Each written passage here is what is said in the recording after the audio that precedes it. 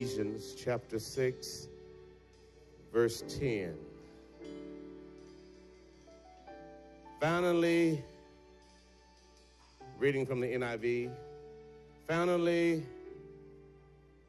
be strong in the Lord and in his mighty power. Put on the full armor of God so that you can take your stand against the devil's schemes. Verse 12 For our struggle is not against flesh and blood, but against rulers and against the authorities and against the powers of this dark world and against the spiritual forces of evil in the heavenly realms. Therefore, because of what I just said, put on the full armor of God so that when the day of evil comes, look at somebody and say, It's coming. You may be able to stand your ground. And after you have done everything to stand, stand firm then with the belt of truth buckled around your waist, with the breastplate of righteousness in place, and with your feet fitted with the readiness that comes from the gospel of peace. Let's stop there this morning. I want to talk about the naked truth. Amen. You may be seated uh, in the presence of the Lord. The naked truth. The truth of the matter is, is that too many Christians leave home every day without their spiritual clothing. I call it the naked truth. I mean, how do we expect to fight off the enemy if we leave home half dressed? How do we expect to fight off the enemy if we walk around half clad?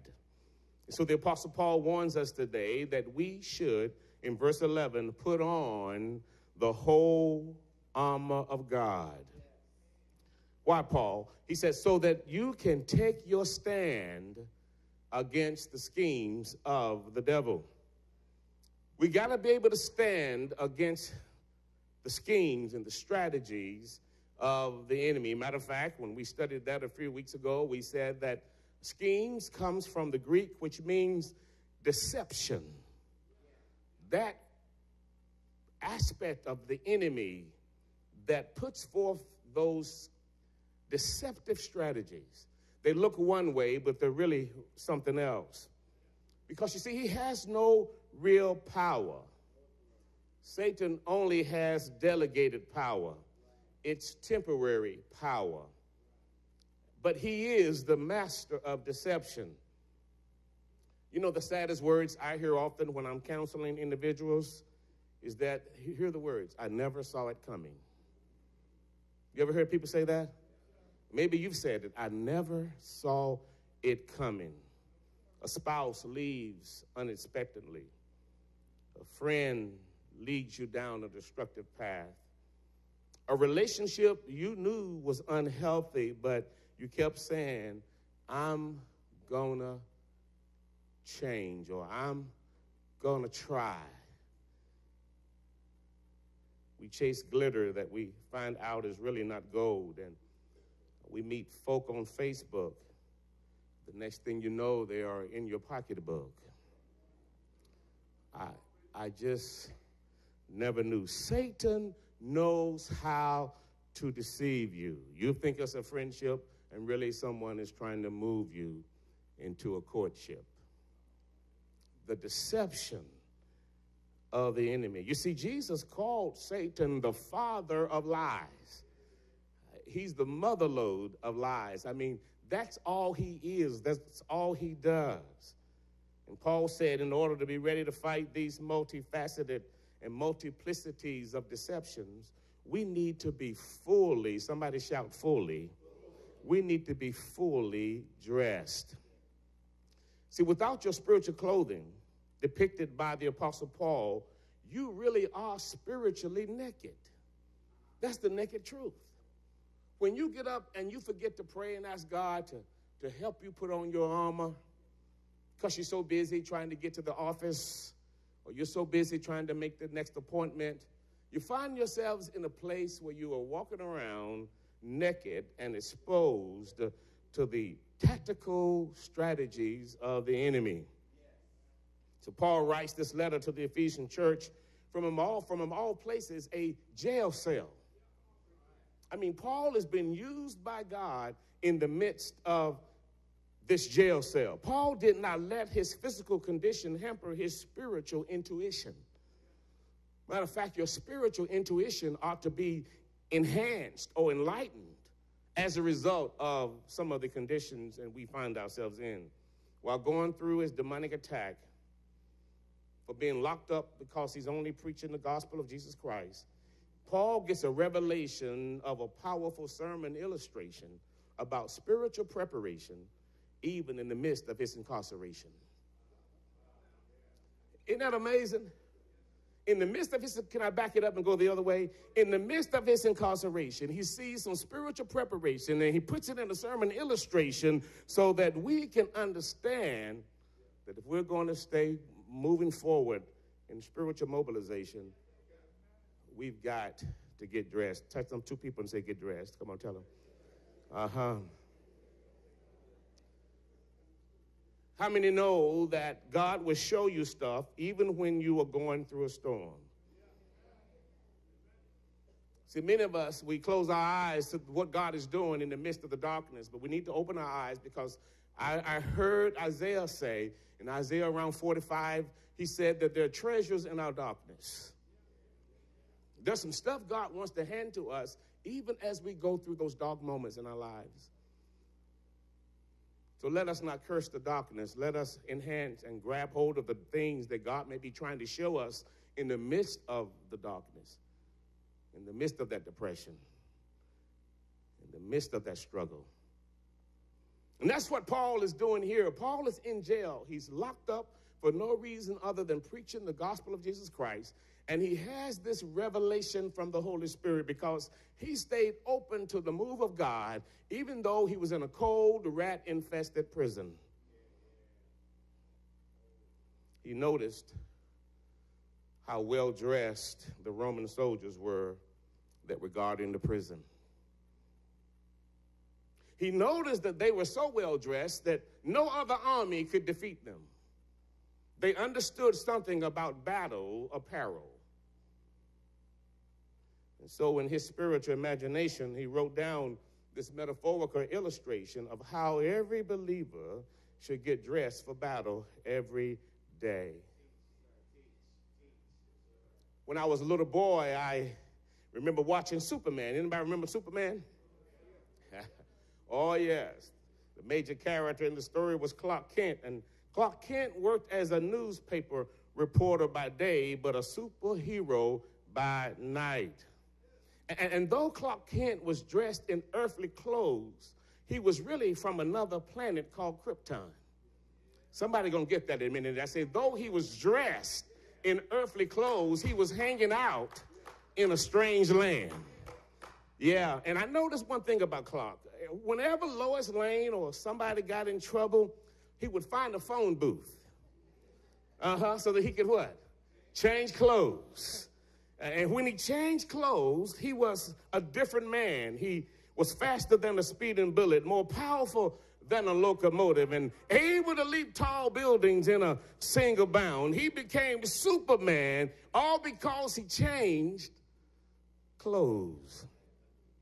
But even though he was faster than a speeding bullet and more powerful than a locomotive and able to leap tall buildings in a single bound, Clark Kent did not become Superman until he put on the right clothes, until he got dressed.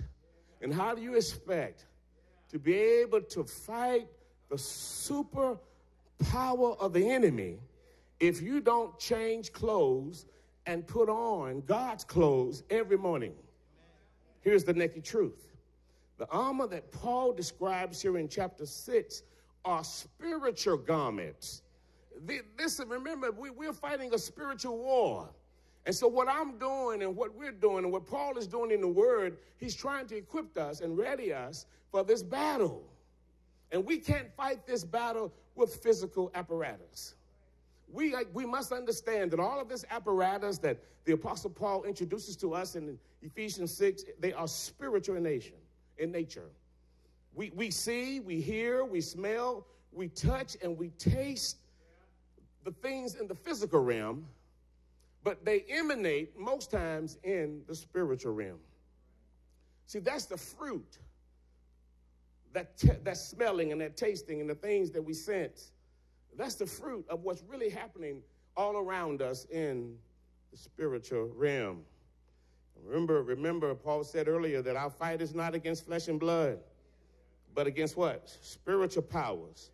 And therefore, uh, our weapons must be spiritual. I want you to get that in your spirit. You can't curse somebody out and make them leave you alone. You got to pray for them. You listen, you got to get some spiritual stuff in you.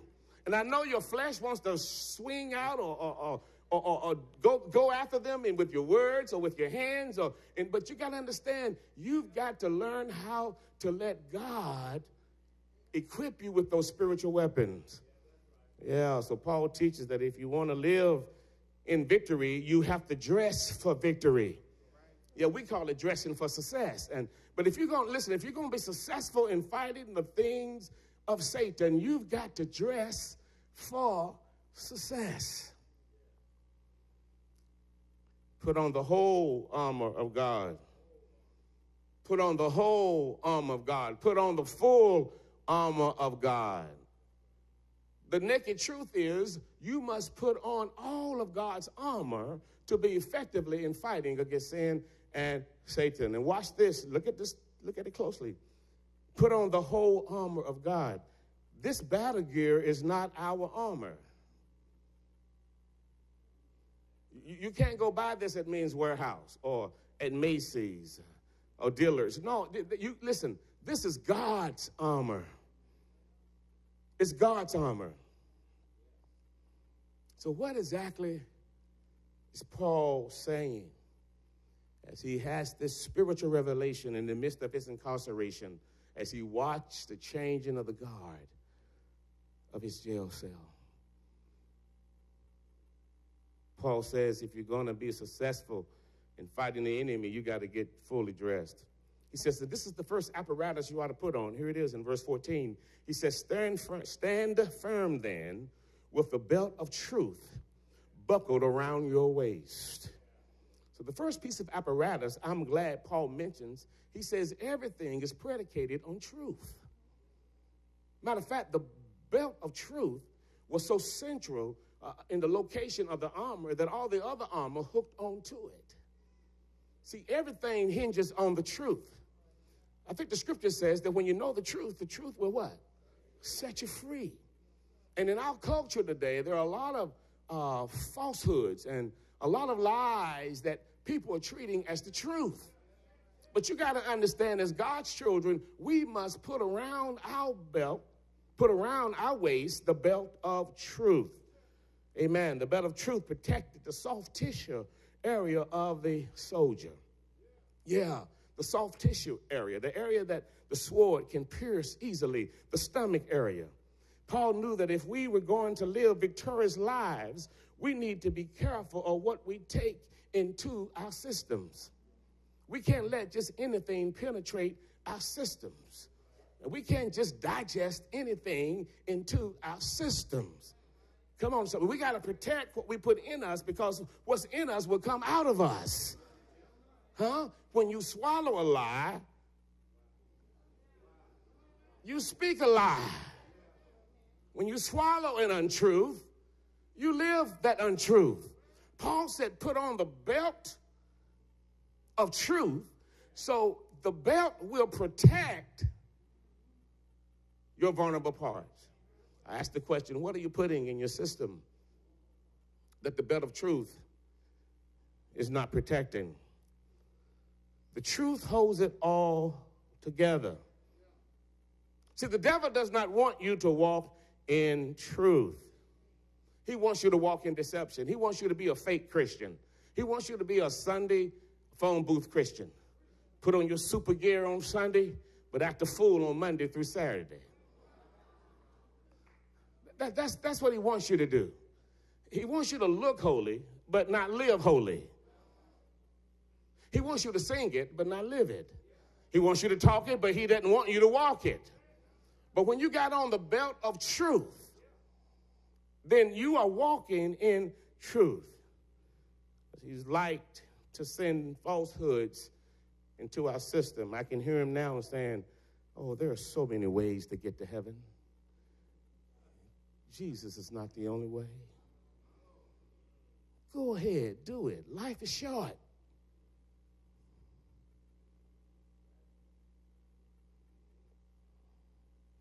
Oh, mom and dad are old fogey. Times have changed. Go ahead, get high one time. One time won't hurt you. Inbox her. Nobody else will know.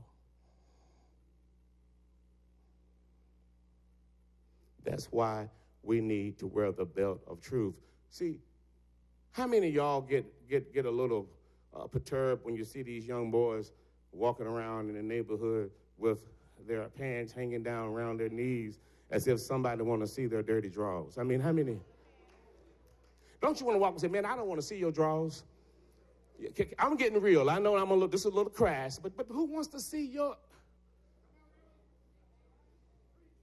Don't you want to just put a belt around them and say, man, put your belt on? The problem with us is that some of us are spiritually sagging. Uh-huh, Barreto, that's what's happening. Some of us are, we see, we spiritually sagging.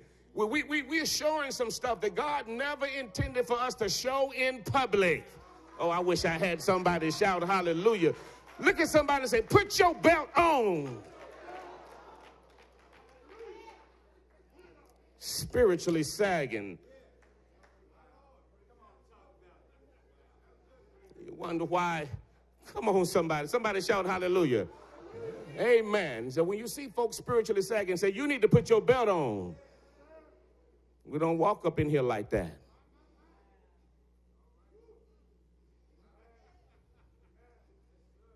For the belt of truth that holds up in everything. Amen. So put your belts on every morning. Don't be walking around work sagging, letting it all hang out.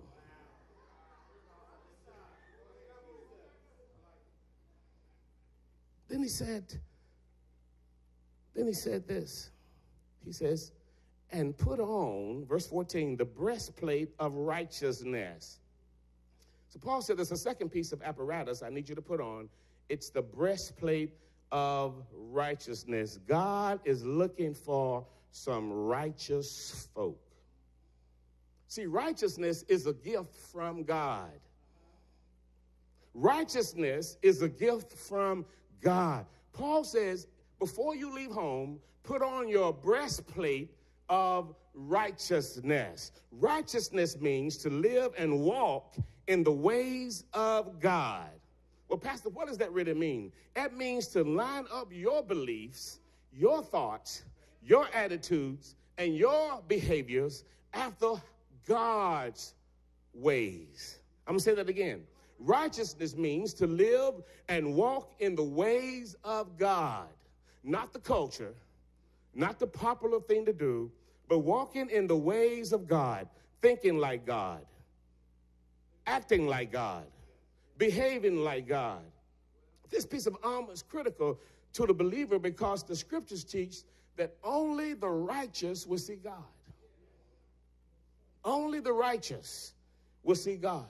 Because we learn in scripture that our own righteousness is as filthy rags in the eyes of God. We can't stand before a righteous God on our own account we have to be imputed the righteousness of Jesus Christ. Somebody shout, imputed. Let me give you an illustration of what imputed means. The other day, I, my computer had a virus. And you know, if you let a virus stay around too long, it would eventually destroy your hard drive. Well, I called Kendra, our new administrative assistant, and I said, Kendra, Pastor's computer has an antivirus. I mean, has a virus. And she said, Well, you need some antivirus software. So Kendra, amen, uh, came and put on my hard drive a antivirus software. In other words, she imputed some software on my hard drive to run off my virus. I would have had a virus if I had not got some antivirus software. When Jesus died on Calvary, literally, he became antivirus software. And anywhere there's sin on our hard lives, Jesus' blood and righteousness being imputed to Clarence and unto you wiped away every virus. I wish I had somebody shout, Now you have been imputed righteousness. I came across a powerful scripture, and I'm going to see if we can put it on the big screen for you. It's Zechariah chapter 3. Zechariah chapter 3. I, I want you to, it's, it's the NIV, Zechariah chapter 3, verse 1. This is the beautiful scripture of what it means uh, to be imputed the righteousness of God. Amen. This is what it says. Then, Zechariah 3, verse 1. Then he showed me Joshua,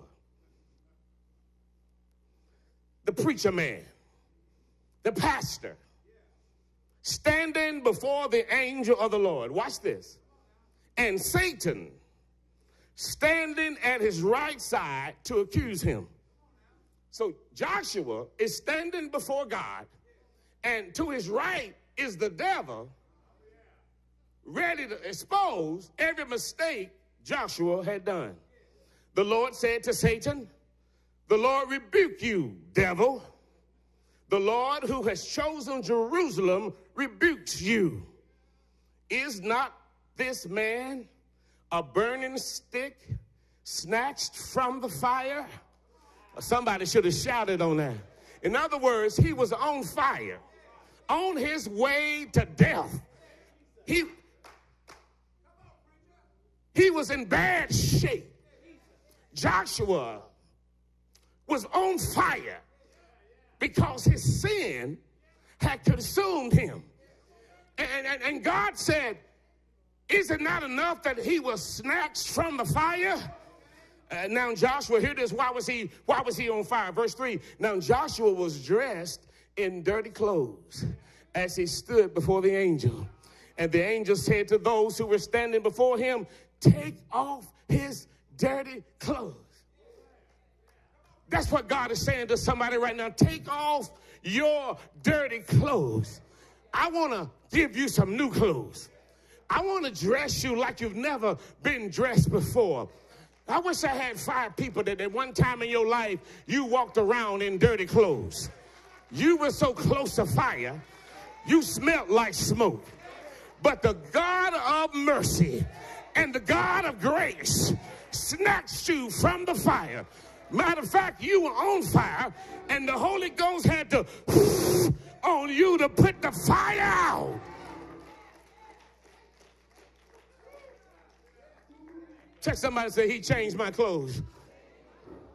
He put righteousness, hallelujah, on top of me. When I should have been dead, He redressed me and gave me another chance.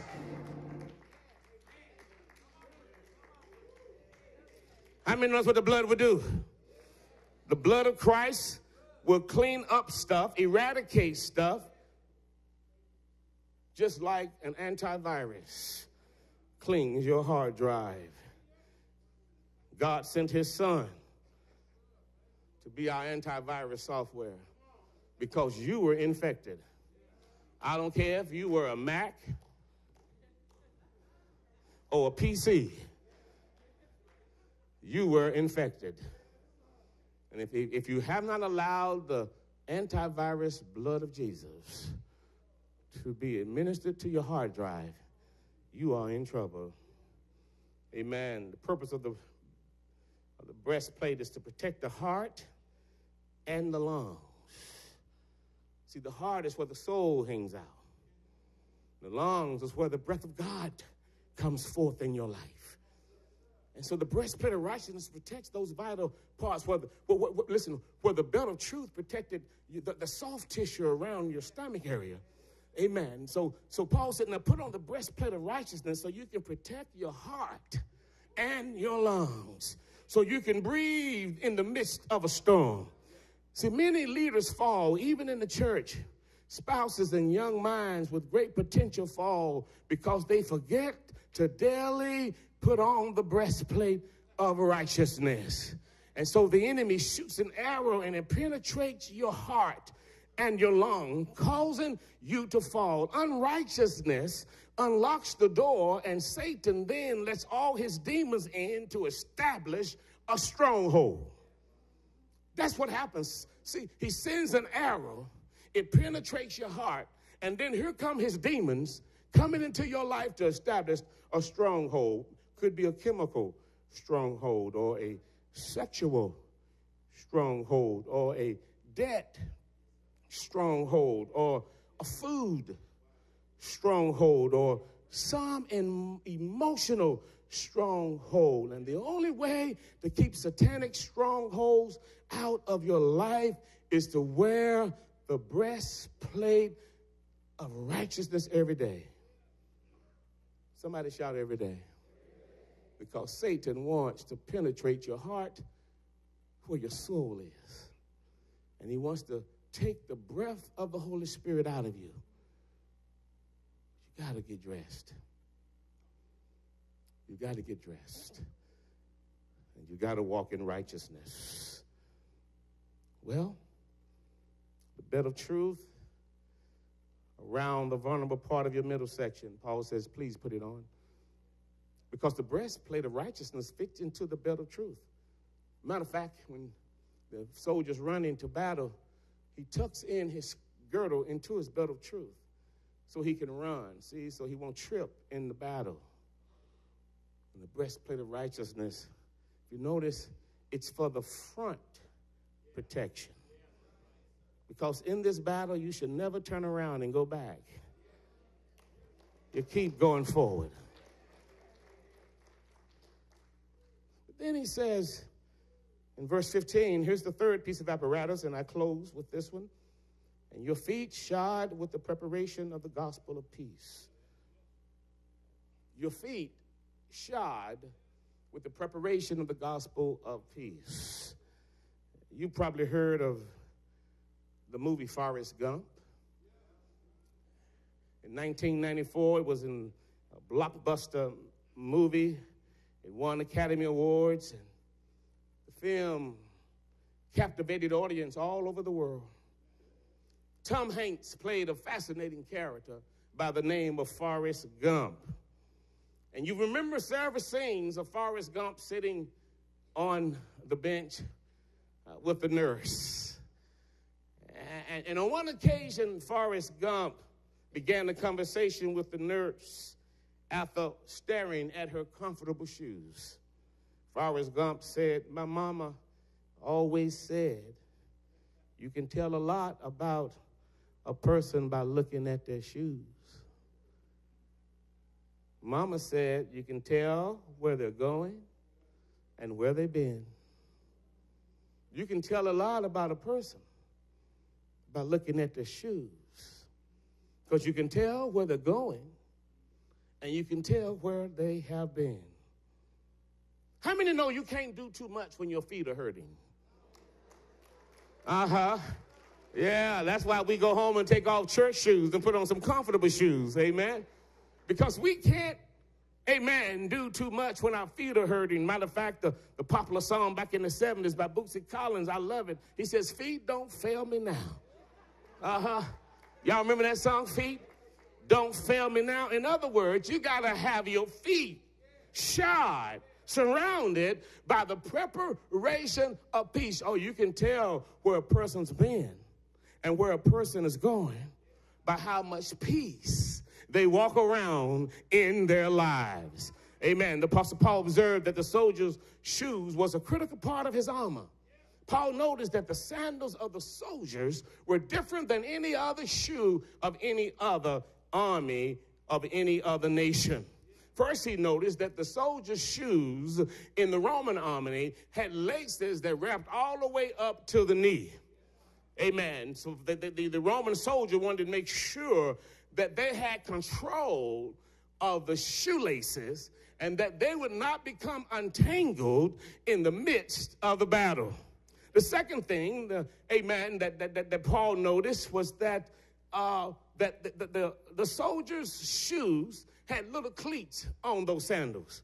No other sandal had cleats on them because see, the, the Roman soldier understood if I don't get good footing, if I don't get some traction, I won't be able to walk around in the peace of God because the devil's always trying to push me to the slippery slope where I don't have no peace. I wish I had somebody to know what it's like not to be able to sleep at night. Huh? How many know the first thing that the North did to the South were to steal their shoes? Because you can't fight a battle if you don't have shoes or if your shoes are inadequate when it comes to fighting.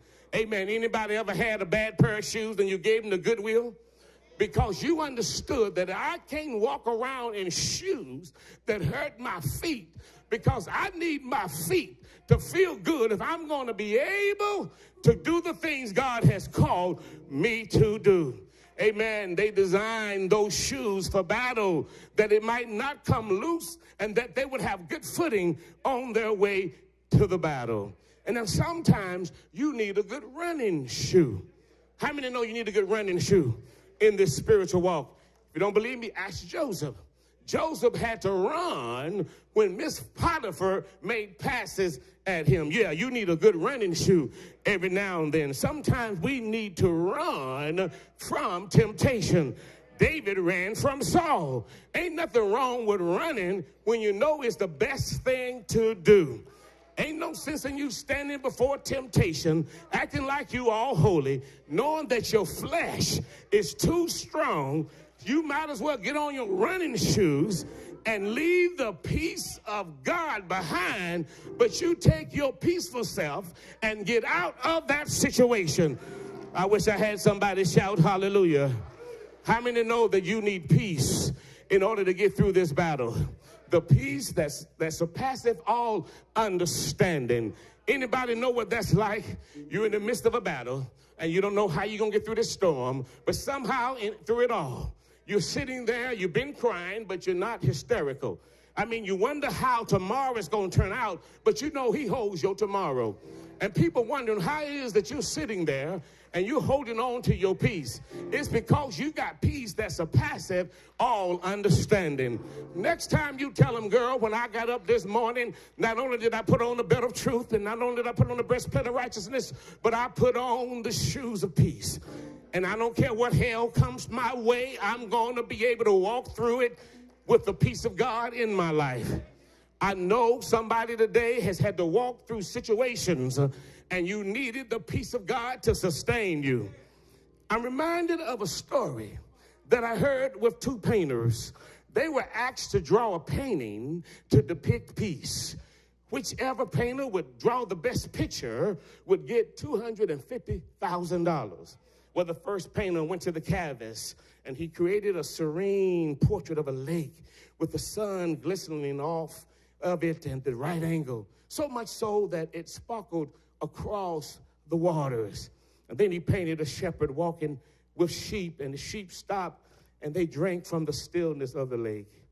The trees stood off at a distance with birds gathered at their tallest, tallest limbs.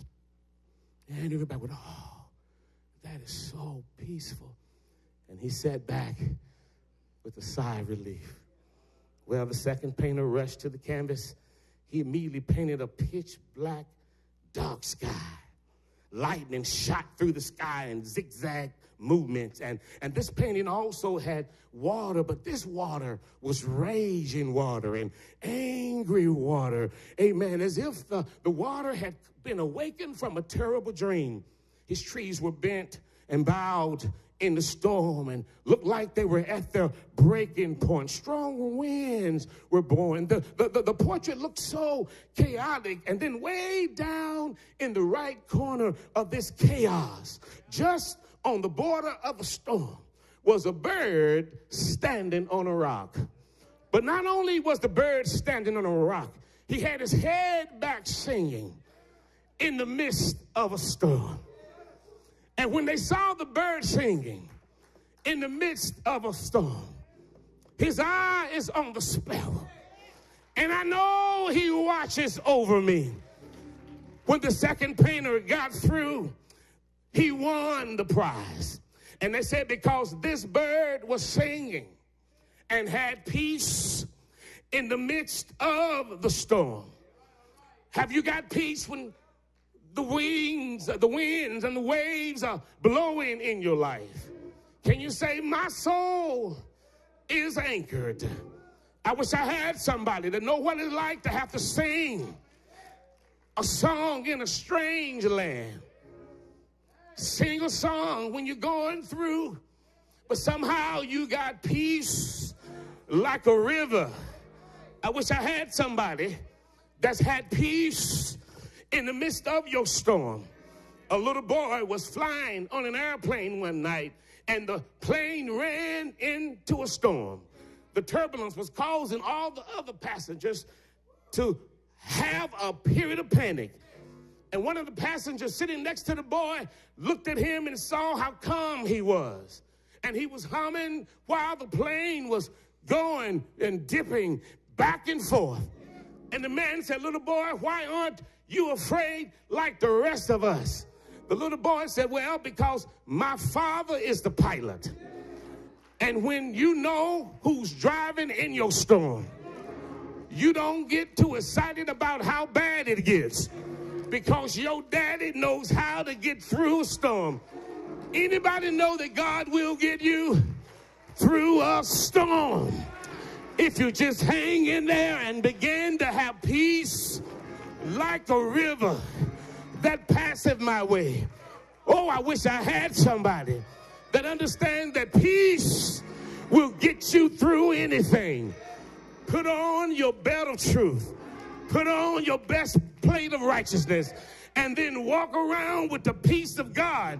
And you will be able to defeat the enemy who's trying to steal your joy. Peace, righteousness, and truth.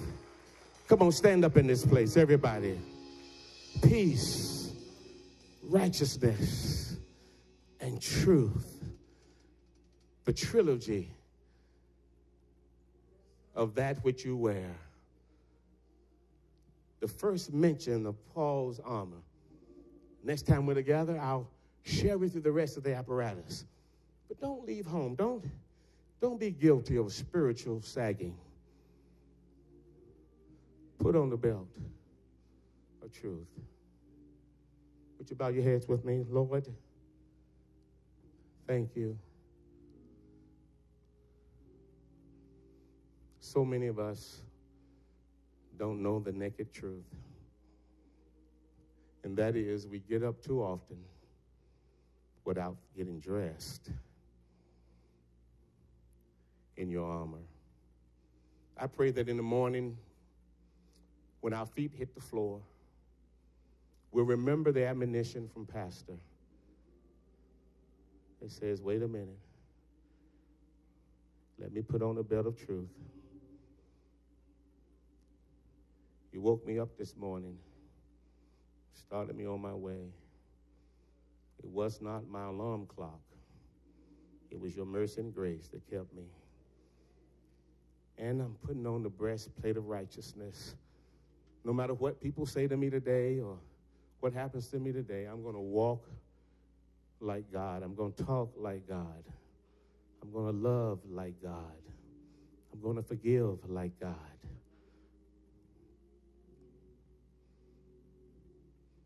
And Lord, I'm going to stand now. Let the peace surround my feet. I don't know what I'm facing the rest of this day, but I'm walking in your peace you take me through.